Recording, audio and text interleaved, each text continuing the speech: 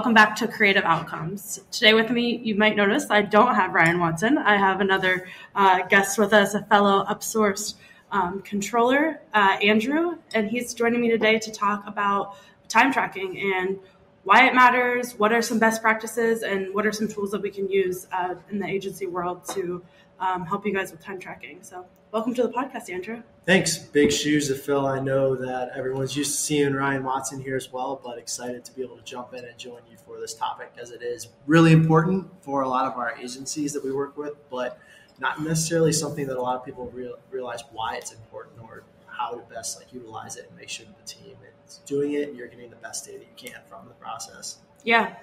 Um, so I guess to, to, to start us up, uh, with this topic, like it's often we see when clients come to us, they're not necessarily time tracking or not doing it in the most efficient way possible. And so it's often one of our first recommendations when you start working with us is like, hey, we gotta we gotta start this time tracking. And we know that no one likes to do it. It is, you know, we're working with a lot of creative people and they just want to be out here and, and do their creative thing, um, which is awesome. But there there is a, a benefit to time tracking.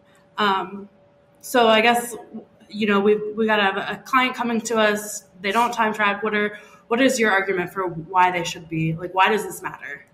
I think from the kind of not even bringing into financials. So, so a lot of people are typically involved in this process. So you may have an area where you don't necessarily want everyone um, at the company to be aware of what top line revenue or things like that are. So from more of like a capacity planning standpoint, uh, team utilization, things like that, that's a really important piece there. Yeah. So that you can not only figure out like how is the team working as it stands uh, today in the past you can use that data as well as um, a lot of these time tracking softwares now allow for forward looking uh, whether yeah. it's an integration from a separate subscription or just um, even within the app, like the software itself, so that you can help plan for how does a future project or potential projects affect the capacity of the team.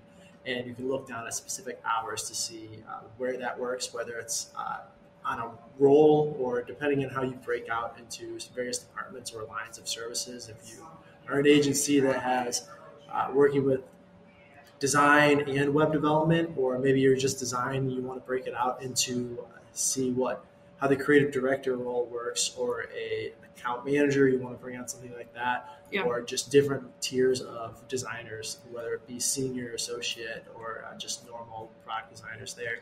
Yeah, so I guess the key point here is like the date like we've got to collect the data in order to be able to make the decision so to see what the future looks like we need to know what your current team is working on and where they're spending their time. Um, so that allows for capacity planning, but that also um, it tells us like, are we profitable? Like, are these projects profitable that, that we're spending our time on? Um, and one of, I guess, jumping back to capacity planning, uh, one of the one of my favorite stories about like why this matters is I was having a client where employee was constantly spending an over a 40 hour work week every single month. We were looking at their, you know, how much time they were spending each month. And so we dug in a little bit, and this person was like spending a bunch of time rendering fire, files to the cloud. And so to solve that, we were just like, let's buy a more expensive computer. It'll render faster. And then he doesn't have to spend 10 hour days waiting for things to upload. So like it w- it's not necessarily like a punishment that like your employees aren't working enough or it's like just a data point to understand where that time is being spent to make those decisions to to help the business grow. That's a great point. Being able to articulate and explain to your team why this is important, as we've said, is just half the battle there. Uh, kind of Meredith mentioned it at the beginning, where sometimes uh, it's uh, viewed as just another process that you have to add to the plate, another thing that you need to take care of during the day. But it is something that is very much uh, the benefit to your team, and you're allowing for uh, good decisions to be made and knowing exactly when to uh, make the right hiring decision so that one, you're not overspending on a position so yep. that there's more profit. Uh, you're able to give more salary salary raises, things like that. But then also you're able to just ensure that your team isn't being overworked and uh, that is a very specific example where yeah. kind of gets into like a best practice we, we talk about is that everyone should be tracking services team specifically should be tracking all their hours. The, Yep. the internal hours in that specific um, Yeah. example were just important as the billable hours to the team, so that you can kind of see what exactly is going on and again more of the why behind the data as opposed to just using the data as informational or uh, interesting. Yeah. Um, okay, so I think capacity planning. Um, do we want to talk a little bit about like the project profitability side of it, and then like the pricing side? Because I think those are two other pieces where um, you know your team can be really busy, but it feels like we're just not making money. Okay, well then that's like the next layer to dig into, and it's um, are we pricing these projects correctly that we're that we're we're bringing in and the work that we're doing. So then you can analyze by having that data you can look to see okay how much time is it actually spending to, to build a website? This is how much we thought it was but this is in reality how much time we're actually spending. Um, and so you can adjust that pricing um, going forward.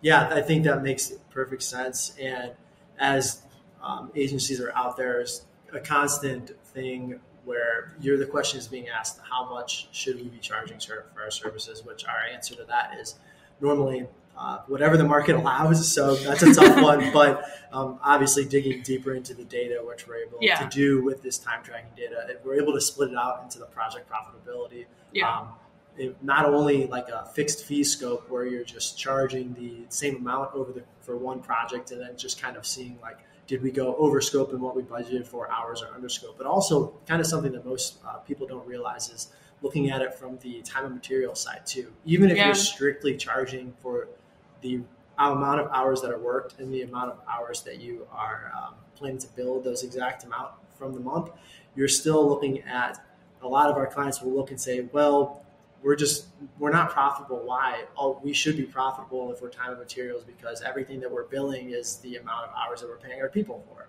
So uh, another way to look into that is to see exactly well what exactly is being tracked as non-billable time? So that's something where if you're able to uh, bring in and make sure that somebody who's intimately involved with the projects whether it be a project manager or an ops associate something like that where they can review the hours and what's logged in uh, in the time tracking software on a sometimes even weekly basis. Maybe it's just a couple times a month, but it's important to have somebody else involved so that you can make sure that you are billing for the time that should be that is spent on the client. Even if that's Yeah. even if it's an internal meeting that you're talking about the client, it's Yep. typically going to be something you should be billing for. And I don't think a lot of people realize that. A lot Yeah. of agencies let that slide. But Yeah. if you're time tracking, you're tracking internal and billable data Yep. Time, then that allows for you to be able to actually see that and make those decisions and kind of change processes. Yeah. Cool. Okay. So I think we hit on like why it matters. So if you guys have any follow up questions, feel free to reach out to us. We could spend a lot of time on this. But let's go into like some like, okay, executionally, here's how like best practices like that we see and that we would recommend uh, for you to implement in your agency. Um, I think one of you, you already mentioned one, like have your entire team, service team track all of their hours. Yeah. That's going to ensure that we have that full data set. Um, so like it's great to be having the data, but if you don't have accurate data, then it doesn't lead to informed decisions. So for accuracy, um, the other another piece I see is if you have like either project manager or an operations like a dedicated resource to just once a week review the time that was tracked and say like, does this make sense? Does it feel right? Um, it's just, just kind of that like high level look to see okay people are tracking their time there's like a 40 hour week in there and, and it, it looks reasonable um, Yeah, and it's uh, kind of in a point to really tie those up that you mentioned, Meredith, is uh, obviously we hear it a lot, especially some agencies are already doing this when we come and start working with them. Others have never done it before. Mhm. And then all along the spectrum there of Mhm. different areas. And it, the most pushback that we see from the teams that are this is being implemented, well, it's just another thing on our plate. How are we supposed to manage this?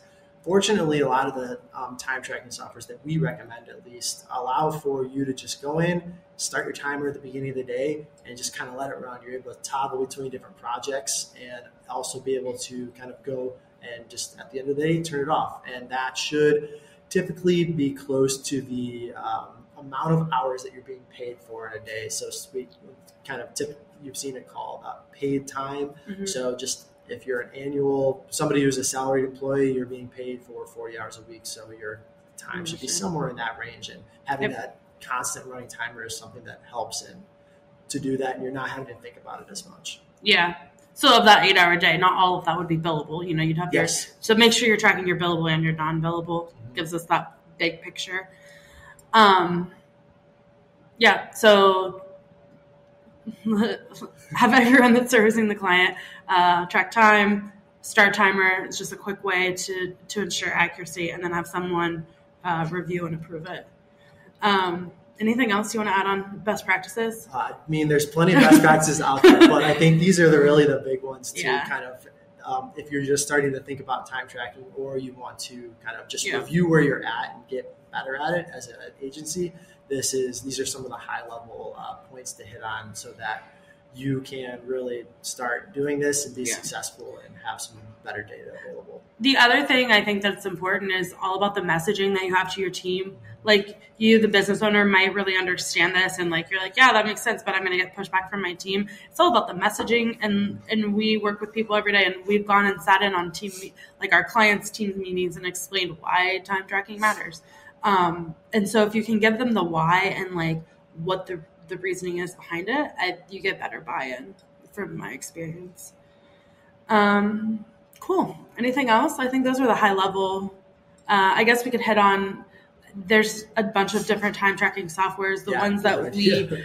um, most frequently see, I see Harvest, Teamwork. Um, Float's another good one. I think one thing to uh, consider when you're doing this is uh, what it, what else are you do you want to accomplish? Do you have a project management software out there that you're using to kind of keep track of different tasks that are being completed on the team? There's Yeah. some uh, time tracking softwares that allow for pro- that project management software as well as keeping that um, tracking time and Yeah. keeping that running timer. Or maybe you're more concerned about that forward-looking capacity planning. A float is another good one out there that allows Yeah. for you to be able to track time very easily, as well as look forward and see how future projects and work fall in and uh, fit to where your what your current team's looking like. yeah. Awesome. Well, this was Creative Outcomes on time tracking. I hope you guys enjoyed the episode. Uh, if you did, follow us on like, subscribe, follow YouTube, Instagram, all, all of those places you uh, you get your social media. Um, and if there's a topic that you would like to hear about, please feel free to reach out to us. Thanks. Thanks.